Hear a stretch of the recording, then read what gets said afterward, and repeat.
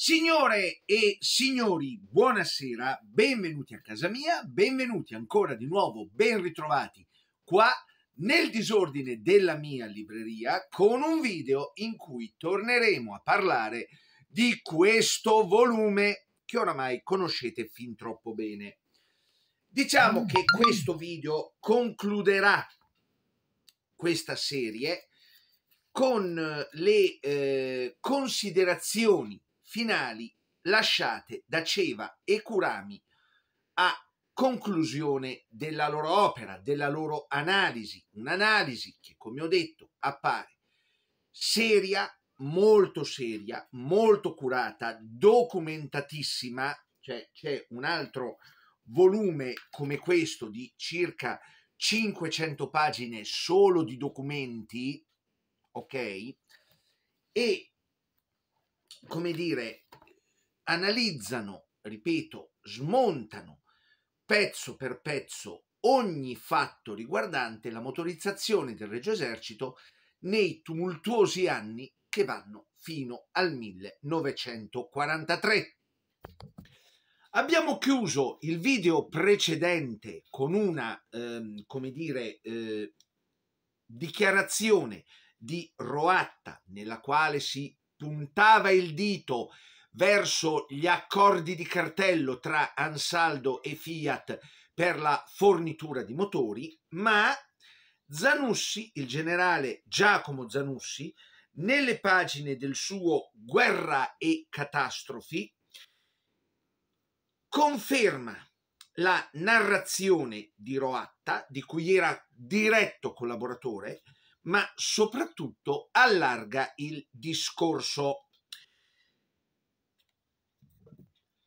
Ci dice Zanussi che ma se la Germania ha maggiori colpe in ciò, ovvero sia riguardo alla, eh, come dire, scarsa collaborazione tecnica e tecnologica fra alleati, non piccola colpa abbiamo pure noi. Ne ha quell'egregia ed entusiasta persona che è il generale Depigné, già che ritengo che nemmeno uno delle centinaia di tipi di carri armati ed altri, ed altri automezzi che egli escogitò o esaminò o fece costruire durante i tre anni in cui resse il suo ispettorato sia entrato in servizio. Ah, pacifico che il buon volere non c'entra perché ho conosciuto poche persone al mondo animate come lui dal desiderio di ben fare, vulcanico di idee, fertile in trovate, inesauribile di attività, soltanto che il suo ininterrotto girare finiva il più delle volte col convertirsi nient'altro che in un girare a vuoto. Per quanto al suo fianco non mancassero collaboratori di grande valore, tra i quali mi piace ricordare il generale Traniello, indiscutibilmente competente e di provatissima serietà. È colpa anche dei tecnici delle nostre grandi aziende industriali, Ansaldo, Fiat, Breda, eccetera, i quali, pur avendo sott'occhio campioni di carri tedeschi e inglesi che avevano vantaggiosamente superato la prova del fuoco sui campi di battaglia e pur essendo consci delle irrimediabili deficienze dei tipi da noi prodotti, non riuscirono mai in tre lunghi anni a fare o a quantomeno a proporre qualcosa di più decente effettivamente, se ci pensate, a definire decente il sahariano o decente il P2640, di coraggio ce ne vuole. Zanussi continua dicendo che mi si è accennato che ciò dipendeva per gran parte da rivalità tra l'uno e l'altro gruppo industriale, ansiosi di farsi reciprocamente come si suol dire, la forca e di intascare ai danni dello Stato quanti più quattrini potevano. Fino a che, lo dico io, vabbè, ci può anche stare, ma qua lo dice un generale del Regio Esercito, lo dice un uomo dello staff di Roatta. Insomma, va bene. Non senza che in queste losche faccende si citasse il nome di qualche pezzo grosso e persino grossissimo dell'amministrazione militare e civile. Non ho elementi probanti di giudizio al riguardo, ma è certo che se vi, fosse, che se vi fossero e se la realtà consistesse precisamente in quel che si sussurrava nei corridoi dell'ispettorato, le deduzioni che se ne dovrebbero trarre non sarebbero meno sconfortanti. Ve la ripeto.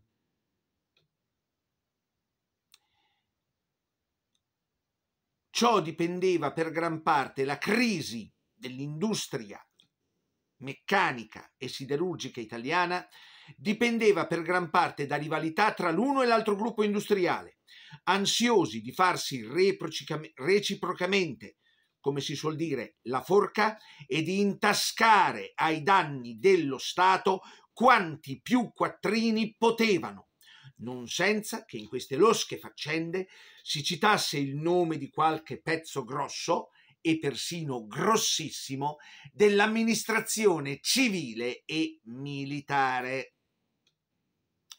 Zanussi, ripeto, non fa nomi, Zanussi prudentemente dice che non ci sono le prove ma io continuo a guardare quella strana busta che spunta dalla tasca della divisa del maresciallo Cavallero.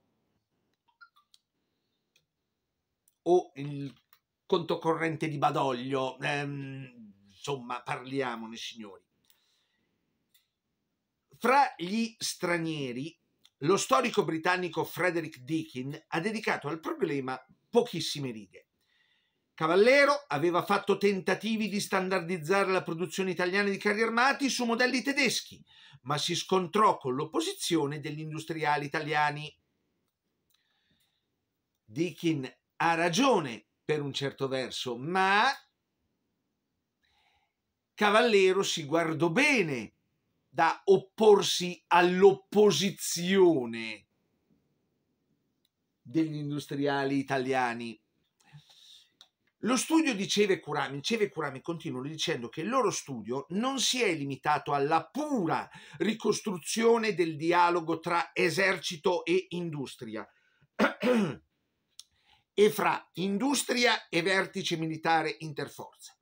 È vero che, salvo pochi incidentali richiami, si è trascurato il problema dei condizionamenti politici che circoscrivevano l'attività e la responsabilità degli organismi militari. E questo non tanto per la ragione che qualche studio in materia già esiste, quanto perché i documenti che abbiamo consultato non davano significativi contributi in quella direzione, che d'altra parte, una volta imboccata, avrebbe determinato un incontenibile allargamento verso temi troppo lontani dal nostro. Cioè, Ceve e Curami ci dicono semplicemente che la loro vuole essere una analisi tecnica con possi- il minor possibile riferimento alla politica, però, come dicono loro stessi, un riferimento alla politica è assolutamente inevitabile, dato che in quel periodo il tipo di politica che si faceva in Italia, eh, diciamo che eh, lo conoscete bene. Tuttavia, sul versante dell'industria bellica, la medesima documentazione permette sguardi più penetranti, tali da intravedere qualche aspetto della sua dinamica interna. Ricordatevi quello che vi ho detto nell'altro video. Gli archivi, i documenti nelle aziende e nell'esercito circola carta, circolano documenti, circolano memorie, verbali e quant'altro che sono difficili da distruggere o da nascondere completamente e che alla fine, eh, come dire, saltano fuori e ops, come dire, il coniglio nel cilindro. Ecco, eh, per cominciare, la voce che ha così lungamente parlato spesso nei capitoli precedenti e soprattutto nell'appendice documentaria, l'altro volume di quest'opera, non è quella dell'industria bellica italiana, ma quasi esclusivamente quella del duo, indovinate un po' chi? Fix It Again Tony, fabbrica italiana autarchici Trabiccoli.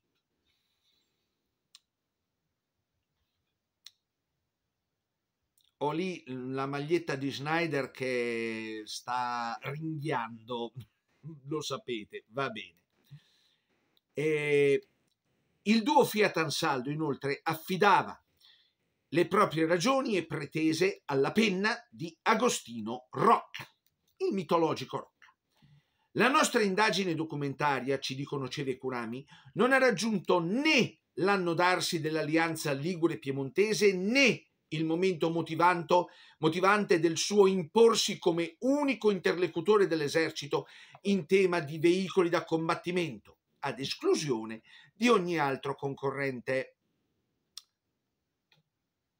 Ungi le ruote se vuoi che non cigolino M, la, diplomazia, la meravigliosa diplomazia e i meravigliosi equilibrismi verbali di Ceve Curami sono degni di nota. Sono per contro venuti alla luce sia i termini dell'accordo di esclusiva Ansaldo Fiat, sia i suoi effetti negativi sulla produzione, aggravati anche dal fatto che essa ormai rifletteva le idee di un solo progettista, ovvero sia l'ingegner Rosini.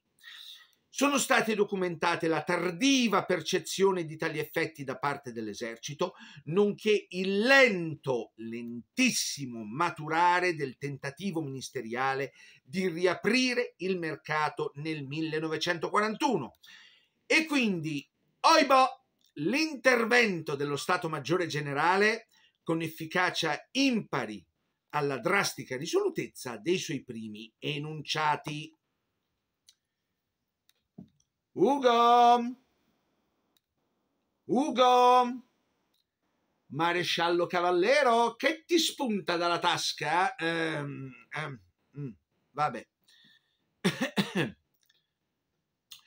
Fuori dubbio che gli effetti del soffocamento della concorrenza non vadano né esagerati né sottovalutati.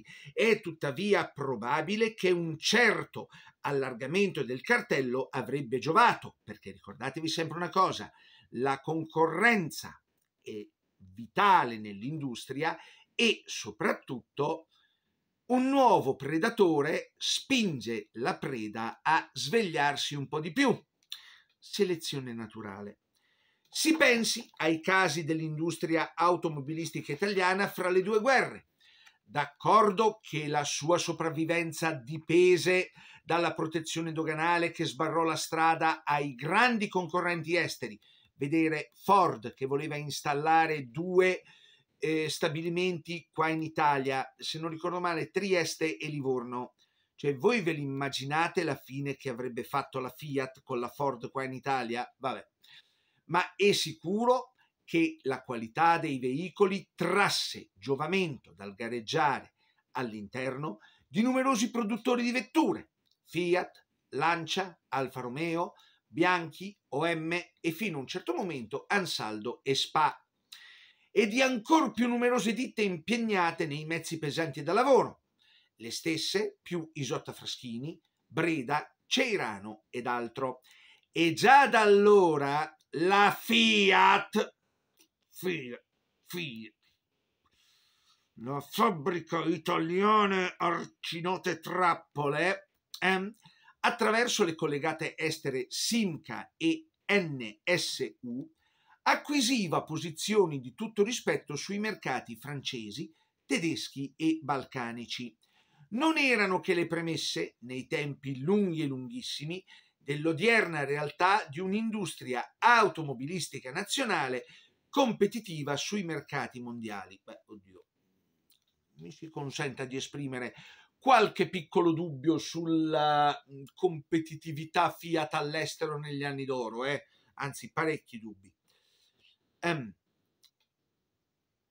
si era notato che la relativa concorrenza esistente fra industrie aeronautiche, se non aveva dato i risultati che sarebbe stato lecito attendersi, ovvero sia aerei migliori, aveva almeno assicurato un progresso nelle cellule dei caccia, così che una volta resi disponibili motori tedeschi originali o riprodotti su licenza, si ebbero macchine da combattimento qualitativamente ineccepibili.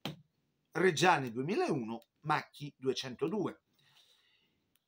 Nel capitolo quindicesimo abbiamo documentato l'aspra difesa preventiva, ricordatevi, la famosa lettera mandata dall'Ansaldo alla Oto, l'aspra difesa preventiva contro ipotetici attentati al monopolio da parte della Oto a capo di un gruppo, cioè Terni, San Giorgio, Alfa Romeo, soggettivamente diverso da quello che mesi prima il ministro della guerra aveva cercato di incoraggiare, ovvero sia Tecnomasio BB, Savigliano, Reggiane e Lancia. È una documentazione importante, non studiata prima d'ora, siamo nel 1994, ma ci guardiamo bene dal considerare completa ed esaustiva. E questo non unicamente per i motivi già visti, carenza rispetto alla fase iniziale, mancata estensione di controllare gli archivi, indovinate un po' di chi? Dell'esercito? No, no, no, no, no, no.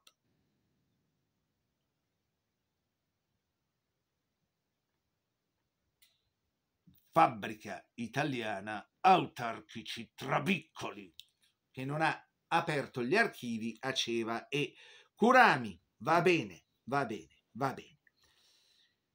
Ci sono le esistenze di accenni, come quello sul serio generale Faldella, a una vicenda imperniata sul rifiuto di Fiat e Ansaldo di motorizzare il costruendo carro tedesco con un propulsore lancia e soprattutto nostra convinzione che il cuore del problema sia altrove e riguardi l'intero assetto dell'industria bellica, quale si venne configurando negli anni 20 e 30, dopo la prima e decisiva esperienza della Grande Guerra.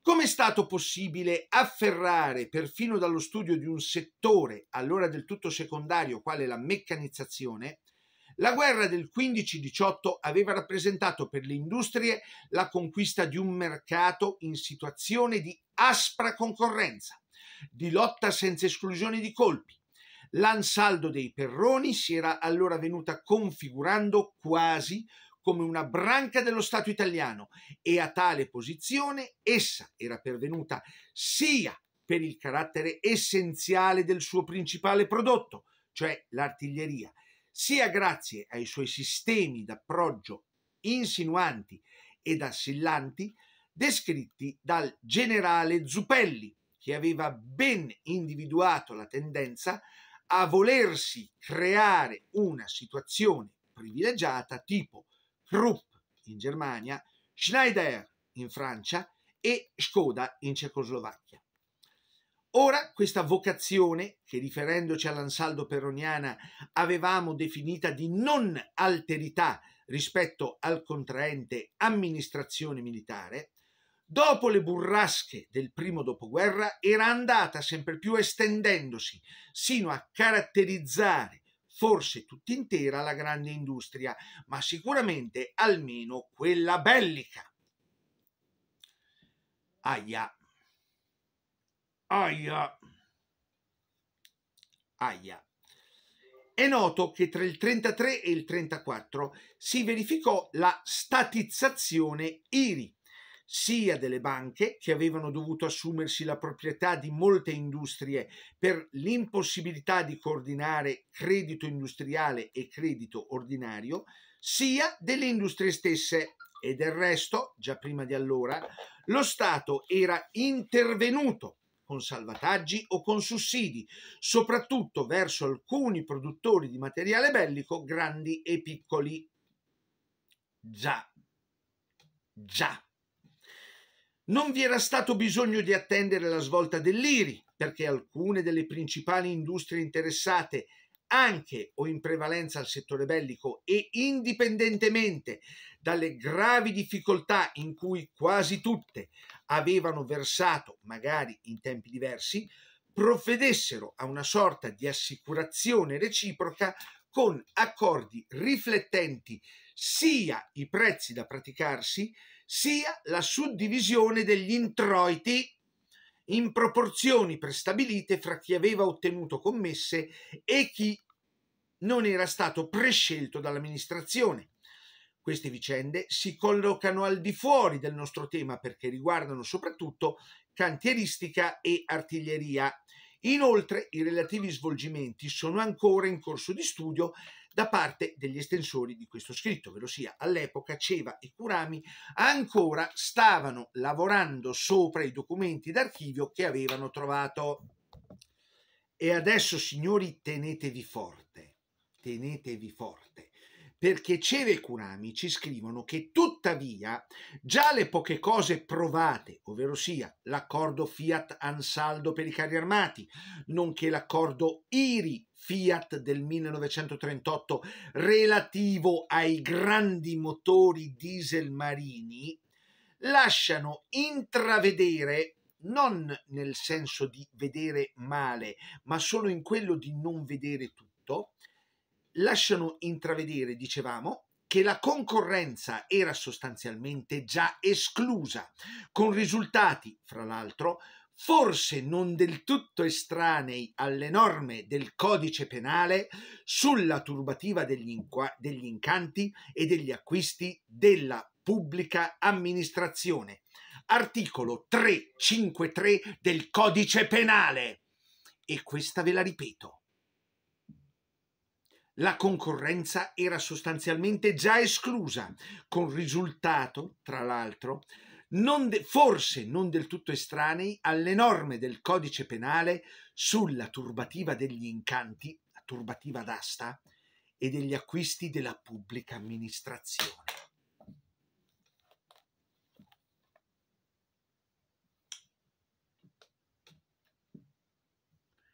La busta dalla tasca di Cavallero Non parlo di Badoglio perché Badoglio arrivava direttamente lì col baule.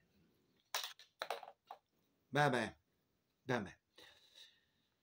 È dunque probabile che il settore carri e veicoli da combattimento, la cui importanza non solo fu vista assai tardi e con pienezza non prima del 39-40, ma andò moltiplicandosi in misura persino superiore alla contemporanea riduzione dei programmi d'artiglieria rappresentasse una delle poche aree non a priori e del tutto coperte da intese private coinvolgenti tutti i potenziali concorrenti, dal che il carattere di violente guerriglie di frontiera assunto dalle liti del 41. Ricordatevi la famosa lettera di Rocca in cui dice ma come vi permettete di voler ma, ma, ma costa fare carri armati Otto com- eh. vabbè vabbè vabbè, vabbè. Che le cose stessero così è del resto confermato dalla documentazione sul buon accordo che esisteva invece in fatto di artiglieria. Il famoso 15% di anticipo a fondo perduto su future ordinazioni concesso dallo Stato del 39 fu ripartito secondo criteri prestabiliti non solo fra le due industrie meccanici produttrici, ovvero sia Ansaldo e Oto, le sole aventi diritto per lo Stato, ma altresì tra le subfornitrici di acciaio e di sbozzati, ovvero sia Terni e Siac. Il tutto con relativa lite e riservato giudizio arbitrale. Bene, stupendo, meraviglioso, incredibile. Prima di chiudere, tre brevi osservazioni, una relativa all'amministrazione militare e le altre due relative all'industria bellica. L'integerrima severità del generale Dall'Olio durante il primo conflitto mondiale non era piaciuta a tutti. Ricordatevi, Dall'Olio fu l'uomo che con pugno di ferro diresse l'industria bellica italiana dopo Caporetto e in sei mesi quell'uomo, quell'infernale attrezzo, quell'infernale attrezzo del demonio, quel, quel, quel, quel, durissimo, quel durissimo forgia, quel durissimo uomo forgiato in acciaio Terni, che poco aveva da invidiare a quello Cruppa all'epoca, tenne testa agli industriali e gli disse o si fa come dico io, o si fa come dico io, o si fa come dico io sbattendo i pugni sul tavolo e in qualche caso anche sulla testa degli industriali, ma questo è un altro discorso. E ripeto, l'integerrimo dall'olio non era piaciuto né alle industrie, e questo è comprensibile, ma nemmeno a qualche settore delle amministrazioni militari. Eh, eh, eh, chissà come mai. Ecco. Chi ha studiato la complessa legislazione sulla riforma della Commissione di difesa, il Regio Decreto 11 dell'11 gennaio 23, numero 21 e successive modifiche, sull'istituzione del Comitato per la mobilitazione civile e sulla nazione in guerra, nonché più tardi sull'istituzione del Commissariato generale per le fabbricazioni di guerra, il COGEFAG, eh, non ha potuto fare a meno di rilevare due costanti. La prima è che i massimi organismi per il controllo e la coordinazione dell'industria bellica, ovvero sia Comitato Mobilitazione Civile, CMC, e COGEFAG, furono retti ininterrottamente dal generale Alfredo Dall'Olio tra il 23 e il 39, quando andò a riposo alla bella età di 87 anni. L'altra è che dalla competenza del commissario per la mobilitazione civile e poi da quella del commissario per le fabbricazioni di guerra furono sempre esclusi i poteri relativi al decisivo argomento delle commesse all'industria, ovvero sia CMC e Cogefag non potevano controllare le commesse affidate all'industria.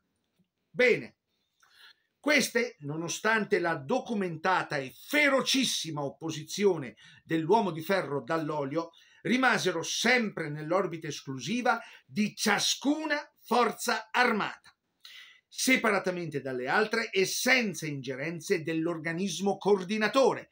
Ma allora che cacchio esiste l'organismo coordinatore se ciascuna forza armata fa quello che gli pare?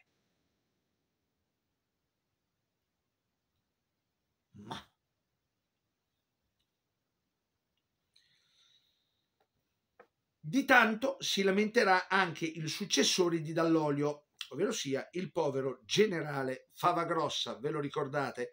Non abbiamo niente. Niente. Um, insomma, a un momento unificante per intese private dell'industria bellica fa riscontro la più netta e, gel- e gelosa separazione tra le forze armate. Una scelta suicida, se ci fate caso. Quanto all'industria bellica, sembra opportuno ricordare intanto una nozione sia pure di comune dominio, e cioè che la statizzazione dell'IRI non portò, tenetevi forte, la statizzazione dell'IRI non portò né ad alcuna politica di pianificazione né ad alcun efficace coordinamento pianificazione, coordinamento.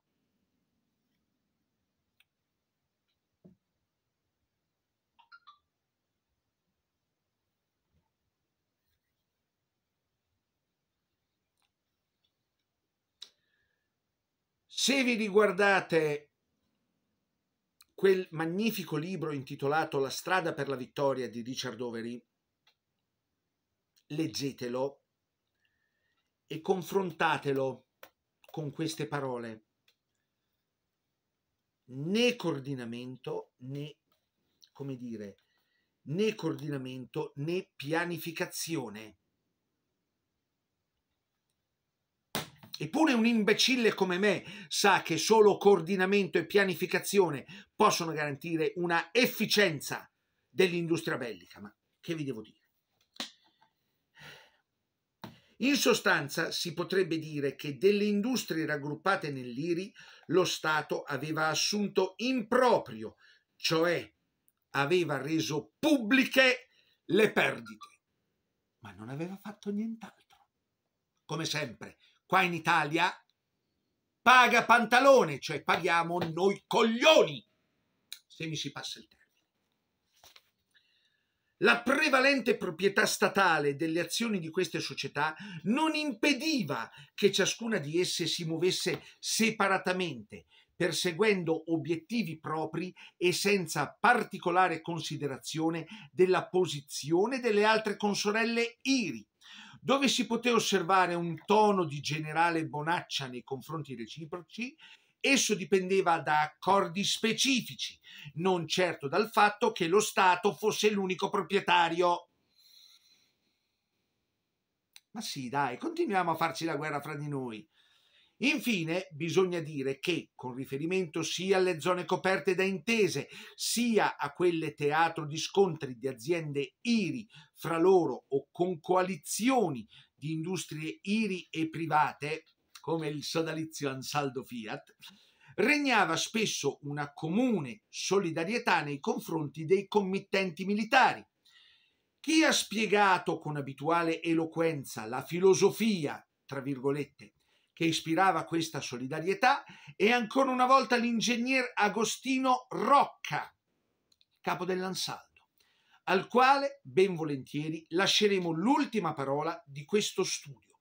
Ma prima ci dicono Ceve Curami, vorremmo congedarci da questo personaggio che ci ha accompagnato per tante pagine. Nell'occasione confermiamo che la documentazione esaminata non smentisce il più diffuso giudizio su di lui.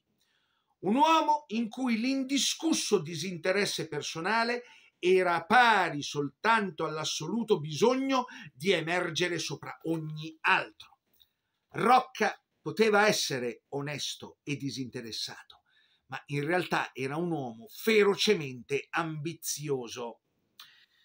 Um, ed altresì uomo che si trovò nella dura condizione di non poter servire con uguale efficacia due patriottismi.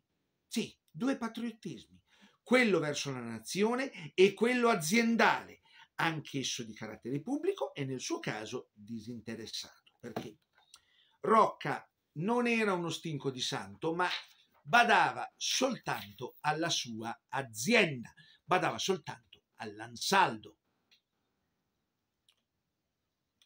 E gli interessi del committente chi se ne frega? Patriottismo verso la patria, sempre dopo il patriottismo aziendale.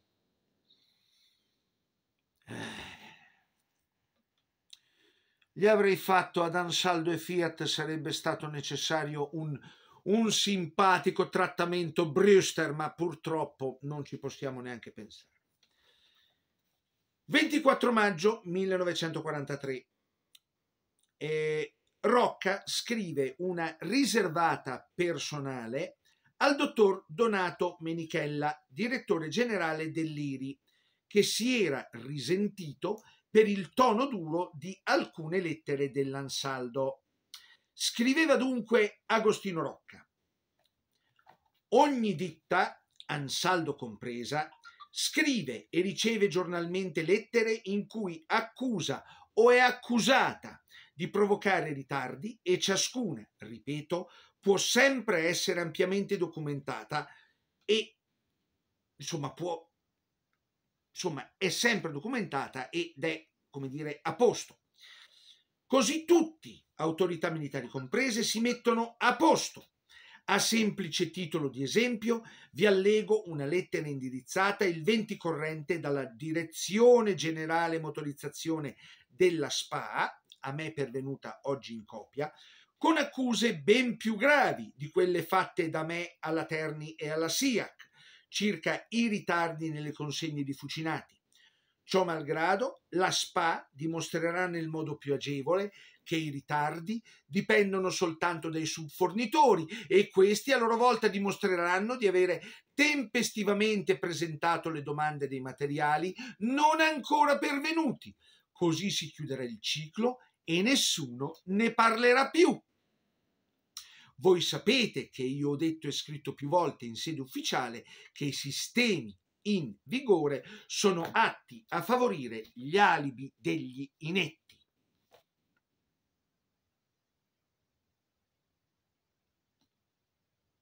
L'ingegnere Agostino Rocca, il boss dell'Ansa